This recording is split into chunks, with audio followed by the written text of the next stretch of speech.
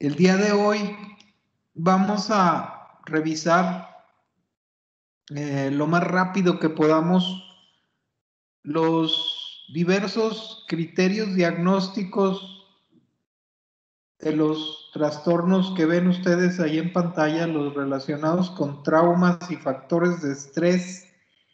Este, para mañana, este, revisar en específico el trastorno de estrés postraumático, eh, tratando de, de, ver algunos eh, aspectos eh, relacionados con las unidades que ya revisamos, o sea, con la cuestión este, neurobiológica y con el asunto también del tratamiento, particularmente farmacológico, este, para tratar de completar de la manera más adecuada posible esta onda del, del curso de psiquiatría que este, ayer me estaba comunicando la, la doctora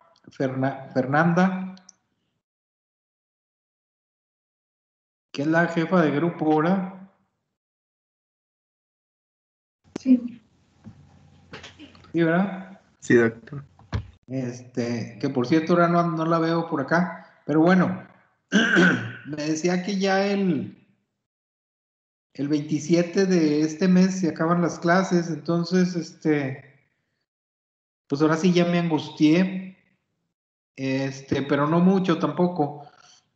Eh, y entonces vamos a tratar de, de ver esto más, uh, más uh, rápidamente a fin de tratar de completar hasta donde podamos todas las cuestiones que luego nos indique el programa. Pero entonces, bueno, digo, ya no echándoles más rollo, estos son los cuadros que se conocen ahora en este capítulo nuevo del, manual diagnóstico que es propiamente el capítulo de trastornos relacionados con traumas y factores de estrés. Porque fíjense que este, estos dos primeros trastornos, el, trastorno de apego reactivo y el de relación social desinhibida, son trastornos que se presentan en, en niños. Y como tales anteriormente estaban en los trastornos de inicio en la infancia, la niñez y la adolescencia. Nada más que, este, como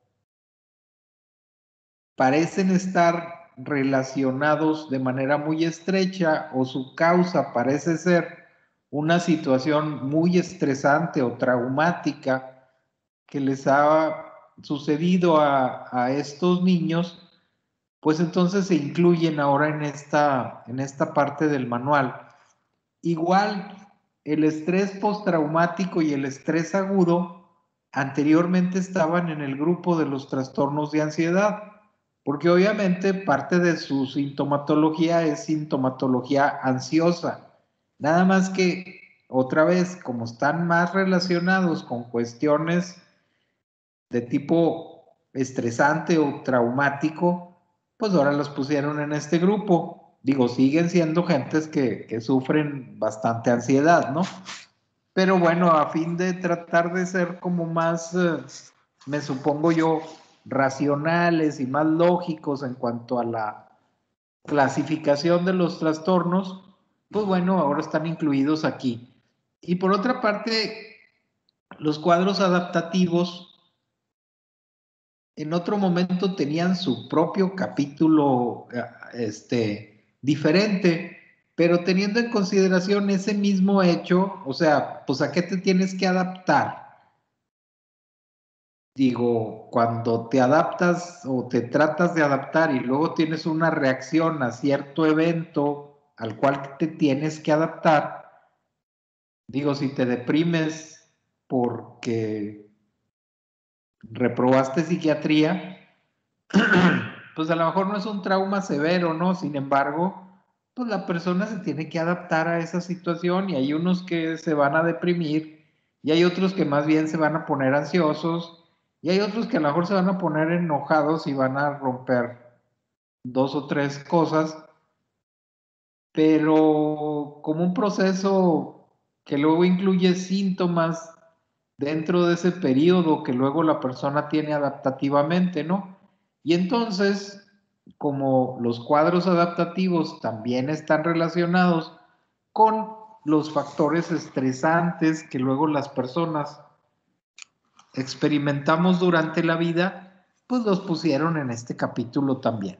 Pero bueno, este, les comentaba que hoy revisaremos pues los criterios diagnósticos así de volada para que ya por lo menos, digo, ustedes conozcan cuáles son los cuadros que están incluidos en este capítulo. Y entonces, bueno, sin mayor preámbulo, empezamos con el apego reactivo. Les decía, regularmente es un trastorno que se presenta en niños. Este es un cuadro donde los niños son así como, bueno, son, o más bien, el síntoma que presentan es un patrón constante de este comportamiento inhibido y emocionalmente retraído, o sea, son niños así como que tienden a, aislarse, ¿verdad?, de la gente que los cuida. Y además, pues casi nunca van a buscar consuelo. Digo, cuando lo normal en el niño es que busque apapacho y busque consuelo cuando le cuando se siente mal, ¿no? Estos no, y tampoco se dejan consolar cuando se sienten mal. Entonces son patrones de conducta que no son los normales, pues, en un niño sano. Y como vamos a ver ahorita más adelante, pues la causa probablemente tiene que ver con factores estresantes en la, en la vida de estos niños. Y entonces, además de su comportamiento inhibido, y la, retracción emocional, pues luego también este, tienen dos o más síntomas que nos hablan de esta alteración socioemocional persistente. O sea, como que no reaccionan ante los demás, como que no les da gusto encontrarse con la gente. Otra vez,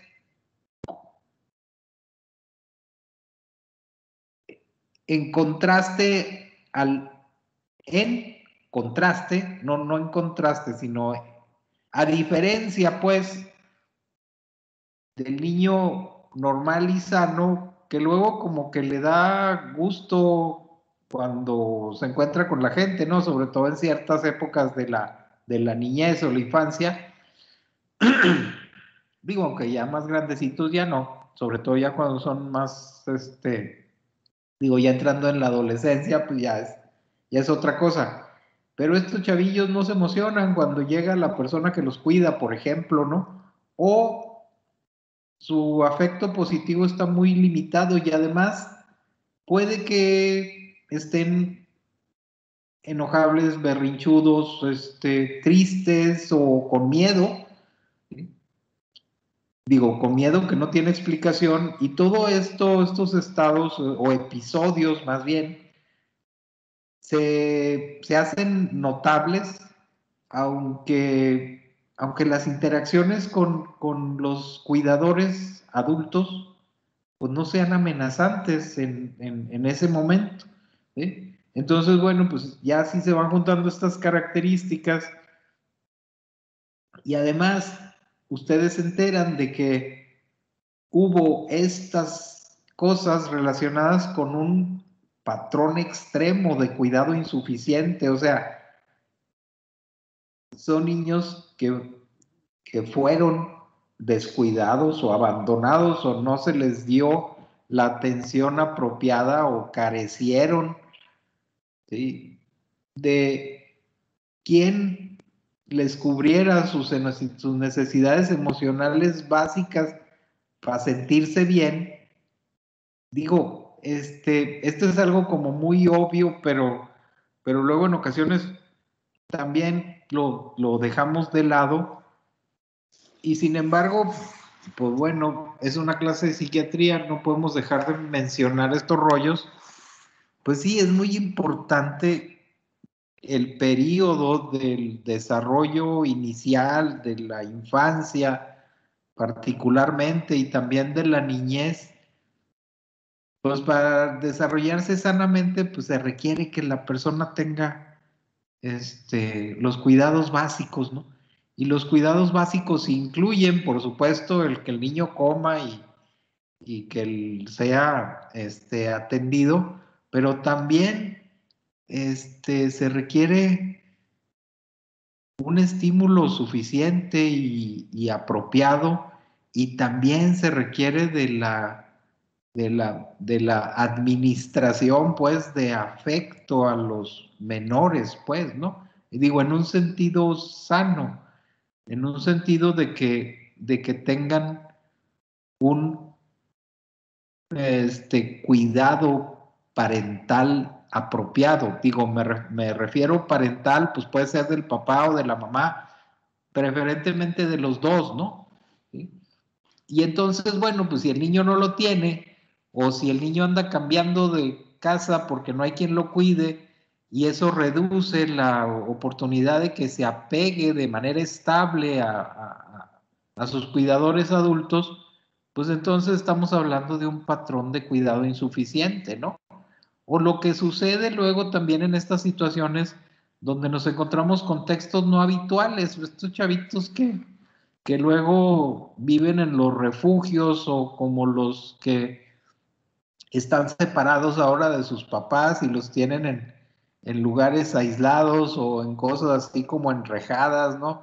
O en estos este, campamentos para migrantes que luego hay donde obviamente pues se reduce esta capacidad o esta oportunidad de poder establecer este apego selectivo con figuras que luego le proporcionen el cuidado suficiente al, menor. Y entonces el resultado puede ser un trastorno de apego reactivo Obvio que en estos casos, pues se supone, uno cree, uno piensa, pues un chavito, un chavito que ha vivido en esas condiciones, pues obviamente a lo mejor esa falta de cuidados es la causa de que tenga estas manifestaciones que decíamos de comportamiento inhibido, de no buscar consuelo, de este, andar enojado, triste o con miedo o no reaccionar emocionalmente o tener una muy limitada capacidad de expresar afectos positivos, ¿no? Y entonces, bueno, aquí a lo mejor el diagnóstico diferencial más eh, este, evidente, porque luego se parece mucho lo que pues, les pasa a estos otros muchachitos que a lo mejor sí les sí los cuidaron bien y sí estuvieron al pendiente de ellos, pero luego tienen conductas muy parecidas a estas que mencionábamos ahorita, nada más que esos no tienen trastorno de apego reactivo. Estos otros van a tener a lo mejor un trastorno del espectro autista, donde también luego hay limitaciones emocionales o, o llamémosle este, características emocionales diferentes a las de los niños que no tienen el cuadro. También, pues bueno, generalmente estas características que mencionamos están presentes desde antes de los cinco años y el niño debe de tener por lo menos nueve meses de edad. Luego uno tendría que especificar en caso de que vieran alguna situación como estas, este, qué tan persistente es el trastorno, por ejemplo, si duró más de un año, ¿sí? Y qué tan graves son las manifestaciones, o sea, si apenas cumple con los criterios o se cumple con todos los criterios diagnósticos. ¿sí? Pero bueno, y por otro lado, en estas mismas este, situaciones de negligencia y de, y de falta de cuidados, paradójicamente pudiéramos decir se puede presentar el extremo opuesto a esto que hablamos ahorita del apego reactivo. O sea, se puede presentar un trastorno con relación social desinhibida. Esto es los niños que luego se van con todo mundo, cuando eso tampoco es lo normal, ¿no? O sea, acá, en lugar de la inhibición, el niño se acerca y tiene interacción activa con adultos extraños, ¿no? Digo que no es lo normal tampoco con, digo, regularmente el niño, pues es no tanto que, que sea desconfiado, que luego sí, algunos son desconfiadones, pero luego generalmente no se van con cualquier gente, ¿no? Este, y entonces estos niños, este, pues como que no, no tienen este empacho en, en interactuar con adultos extraños y se comportan de manera como muy familiar, como que no checa ni la cultura del, donde, del, del niño, ni tampoco los límites sociales que luego se consideran apropiados para la edad de ese niño. Además, puede que se desaparezcan de casa, puede ser así de manera arriesgada, pues acuérdense, estamos hablando de niños, ¿verdad? Y este, como que no recurren casi al cuidador adulto cuando regresan. Y además, como que muy fácil se van con un adulto extraño, o sea, no la piensan, como que lo hacen sin problema. Y luego, bueno, igual que en el otro, ¿sí? estos trastornos están asociados o uno de los criterios es esto que ya les mencioné, pues, y que mencionamos en el apego reactivo, pues se trata de un patrón extremo de cuidado insuficiente, por cualquiera de las razones que mencionamos en el apego reactivo. No lo cuidaron o hubo muchos cambios de cuidador o, el ambiente donde, lo, donde recibió educación, pues este, no fue el, habitual para recibirla. También, bueno, así como en el apego reactivo, el diagnóstico diferencial principal sería con el espectro autista, acá el diagnóstico diferencial que tendríamos que pensar principalmente sería con el trastorno por déficit de atención, ¿verdad? O sea, estos comportamientos que mencionamos ahorita, de que el niño se va, ahora sí que se va con cualquiera, pues no es por impulsividad, este, o no se limita exclusivamente a la, impulsividad, ese comportamiento del chavo. Por supuesto, igual que en el otro, las mismas características, ¿no? Uno supone que la causa es la falta de cuidados. El niño debe tener por lo menos nueve meses y también hay que decir qué tanto ha durado este comportamiento, particularmente si ha durado más de un año y qué tan grave es. y luego está el trastorno de estrés postraumático, que les digo, ahorita revisamos los criterios Mañana vemos algunos aspectos, este, pues, fisiopatológicos y, de, de, y de tratamiento. Pero entonces acá el asunto es, o el núcleo es la exposición precisamente a un evento sumamente traumático, como pudiera ser estos que están aquí, muerte, lesión grave, violencia sexual, que pueden ser reales o puede ser la amenaza de las mismas. Y puede ser que el sujeto la haya experimentado en carne propia, ese evento traumático, o puede que lo haya presenciado directamente, aunque le haya ocurrido a otros. O incluso puede ser que no lo haya presenciado o experimentado, sino nada más que tenga conocimiento de que algo muy severo le ocurrió a alguien cercano, ya sea familiar o un amigo muy íntimo, pero el evento tiene que haber sido violento o accidental. Digo, no es lo mismo que le digan a la persona que que su familiar murió por este, una enfermedad que ya tenía desde hace tiempo y donde ya se esperaba que ese iba a ser el desenlace, a que te lleguen de repente y te digan que alguien muy cercano le pasó algo muy, muy grave y también falleció, ¿no? Entonces, bueno, también lo que tenemos que considerar es que luego, digo, a pesar de que mucha gente puede haber, puede exponerse luego en cierto momento a este tipo de sucesos, también luego no todo mundo desarrolla este trastorno de estrés postraumático. Eso también hay que tenerlo en consideración. Y el último o la última forma en la cual el sujeto puede estar expuesto a estos sucesos, que viene por lo menos aquí indicada en el, en el manual, sería esta, ¿no?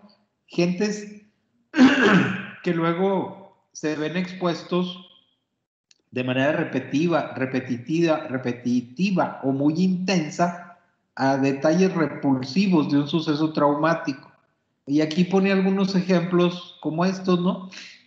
Gentes que luego tienen que recoger restos humanos o policías que ven frecuentemente detalles de maltrato infantil, ¿sí? Con esta excepción, sobre esta parte en especial del criterio A4, o sea, este, no necesariamente, o sea, no aplica cuando el evento es por medios electrónicos, por la tele, en películas, a menos de que esta exposición sea una exposición laboral. O sea, no es lo mismo que lo veas, es que veas esas cosas nomás por digo, que te metas a internet a ver este, cosas violentas o traumáticas por gusto, a que tengas que verlas porque lo tienes que hacer en tu ambiente laboral. Entonces no es exactamente lo mismo. Pero bueno, esos son los detalles de los criterios. Y bueno, en el estrés postraumático habría que considerar estas cosas.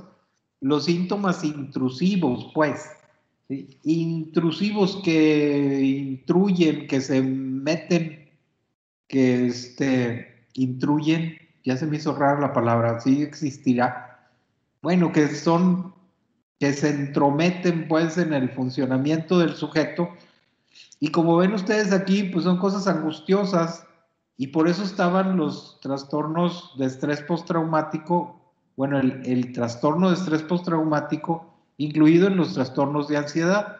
Entonces el sujeto puede tener recuerdos o puede tener sueños, en ambos casos angustiosos y que se presentan de manera recurrente, asociados o relacionados con el evento traumático.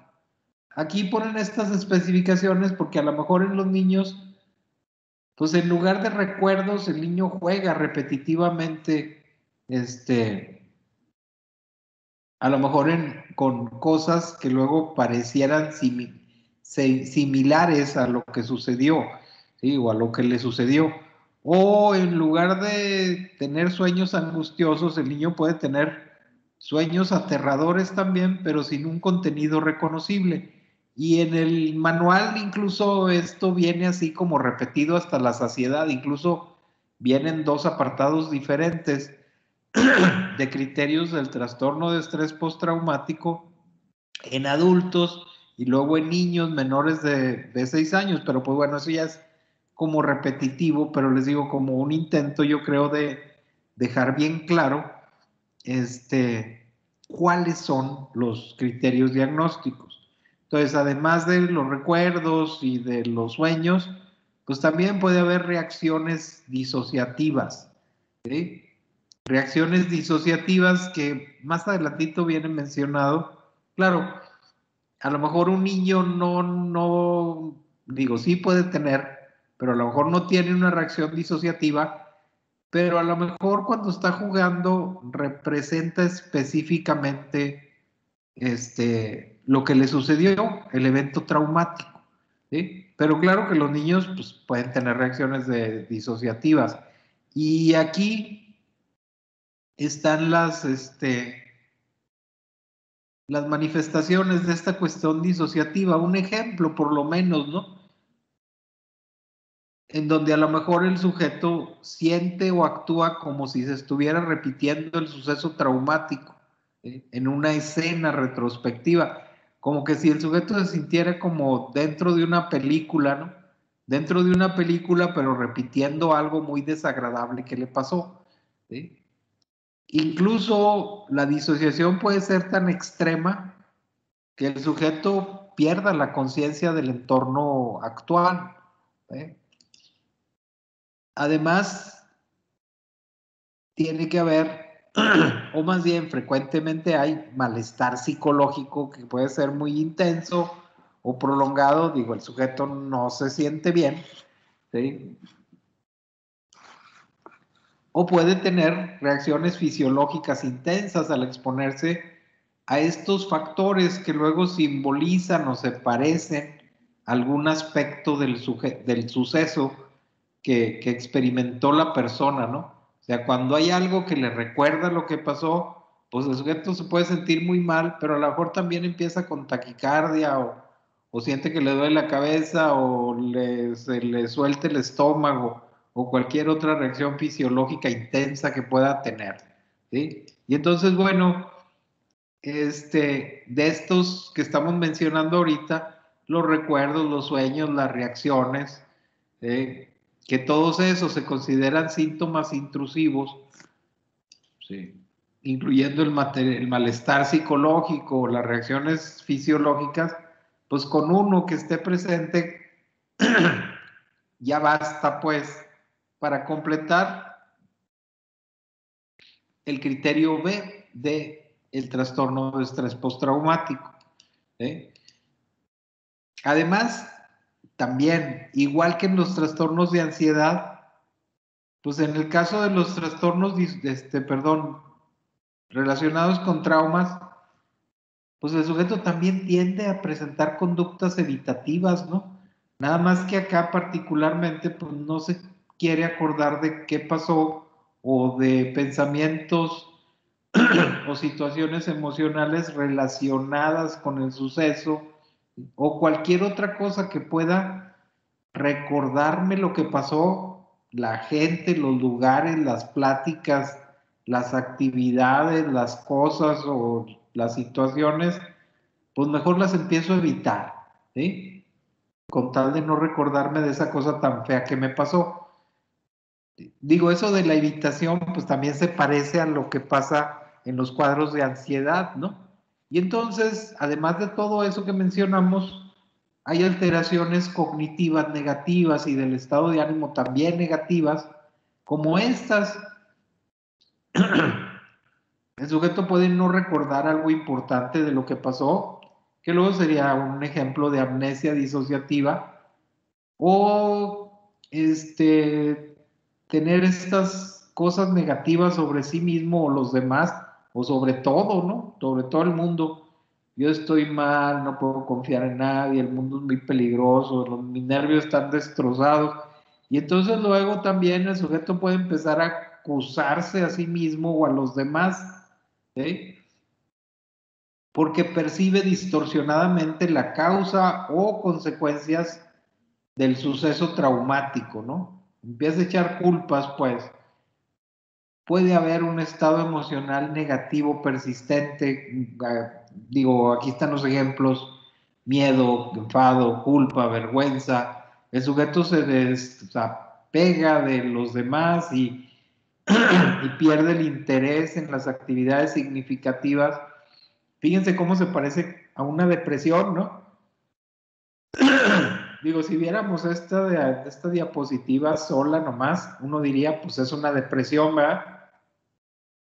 Pero si te ponen que esto empieza, empieza a pasar después de que el sujeto sufrió tal o cual evento traumático, pues entonces el diagnóstico como que es diferente. Pero fíjense, curiosamente luego el tratamiento es muy similar. Digo, parece depresión, ¿no? Si ustedes lo ven aquí, no puedo experimentar emociones positivas, como la felicidad o la satisfacción, eh, o sentimientos amorosos. Todo esto también pasa en la depresión y entonces, digo, lógicamente luego también, pues estos trastornos responden bien a los antidepresivos, lo cual no resulta raro porque, bueno, pues realmente se trata como de una variedad de depresión, ¿no? Digo, con el evento traumático asociado allá al principio, ¿no? Además, bueno, dos o más de estos síntomas asociados en cuanto a la alerta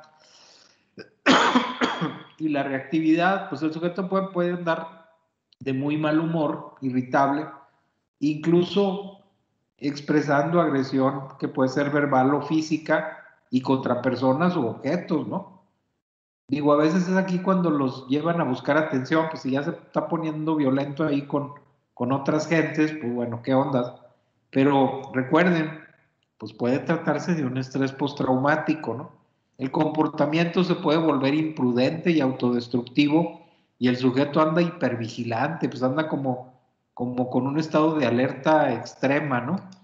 ¿Sí?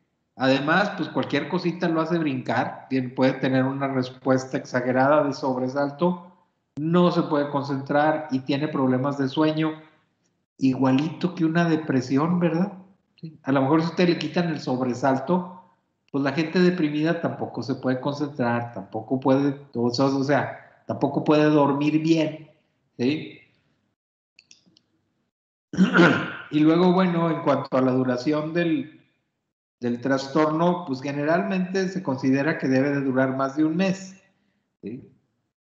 Y luego, como todos los trastornos, o causa malestar o causa deterioro en el funcionamiento hay que descartar el empleo de sustancias, digo, lo cual no quiere decir que una persona que usa drogas no pueda tener un trastorno de estrés postraumático. Pues por supuesto que sí, ¿verdad? Pero hay veces que se pueden presentar todas esas características que dijimos antes y a lo mejor estar desencadenadas por el consumo de sustancias. Entonces, bueno, habría que tener en cuenta eso. Y por otro lado, pues ver también si hay alguna otra afección médica, o sea, si los síntomas que tiene la persona no se los puede uno atribuir a drogas o a otra afección, entonces se cumple el criterio H para el diagnóstico. Y luego hay que decir, en el caso del estrés postraumático, si hay síntomas disociativos especialmente como estos que ya mencionamos anteriormente, ¿no? La despersonalización o la, o la, desrealización. Pero bueno, ¿sí? Y en algunos casos, decíamos, este, pues el diagnóstico, el, el trastorno debe durar por lo menos un mes. Y generalmente los síntomas empiezan de manera muy clara después de un mes del, evento. Pero luego puede haber personas donde los criterios no se cumplan hasta después de seis meses de que pasó la onda traumática. A lo mejor al inicio tuvieron algunos síntomas, pero los criterios no los cumple hasta después de seis meses. Entonces se puede emplear esta variedad de diagnóstico que sería el estrés postraumático de expresión retardada. Y luego está el estrés agudo, que es el que aparece luego, luego. Y los, digo, luego, luego después del evento traumático. Y los criterios son exactamente los mismos, nada más la cuestión es en qué momento aparece, ¿no? Pero igual, si ustedes lo ven, son exactamente los mismos criterios del estrés postraumático, ¿no? El sujeto se expuso a un suceso traumático, este, lo vivió, lo vio o le sucedió a alguien cercano o trabaja en cosas que son traumáticas, igual que en el otro, que en el estrés postraumático, igual con síntomas intrusivos, ¿sí? de los cuales tiene que haber nueve o más que van a comenzar o a empeorar después del suceso traumático. Igual los recuerdos, los sueños, las reacciones disociativas, el malestar psicológico intenso o prolongado o las reacciones fisiológicas notables al presentarse cosas que le hacen recordar el evento. Eh, las alteraciones del ánimo igual, no puede vivir emociones positivas. Los trastornos disociativos, como pudieran ser las alteraciones de la memoria, en la amnesia disociativa, o esta cuestión de que el sujeto se quede pasmado o estar viendo las cosas como si las viera desde la perspectiva de otro, o sentir que el, que el tiempo se le pasa muy lentamente, todo eso incluyendo la evitación que dijimos también en el postraumático, ¿no? En el de estrés postraumático, evitando cosas que le, que le recuerden o que estén asociados al suceso y los síntomas de alerta como problemas de sueño, los problemas de, ahora sí que de irritabilidad grave, o de hipervigilancia, de concentración, la respuesta de sobresalto, o sea, es totalmente similar al estrés postraumático, nada más que si sucede antes, pues entonces uno habla de trastorno de estrés agudo. Bueno, ok, entonces ahí dejamos, esos son los criterios. Y para acabar, mencionamos a los trastornos adaptativos que les decía, pues están relacionados también con un,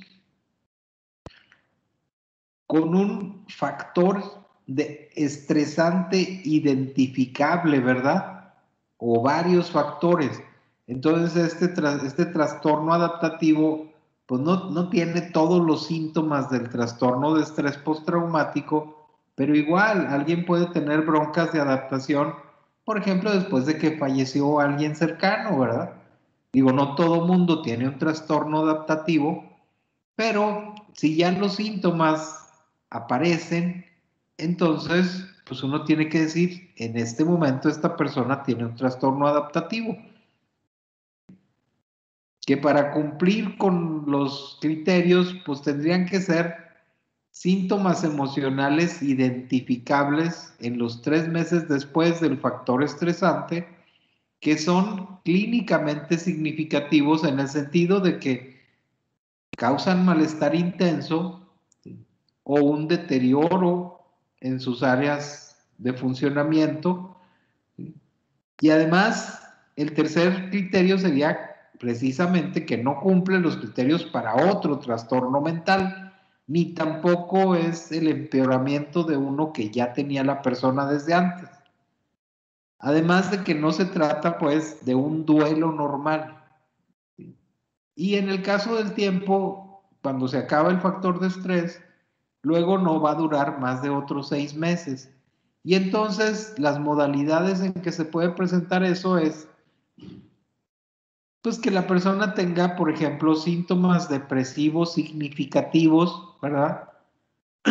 como estos que se mencionan aquí, el ánimo está bajo, le dan ganas de llorar, tiene desesperanza, o puede que tenga ansiedad con estas características, ¿no?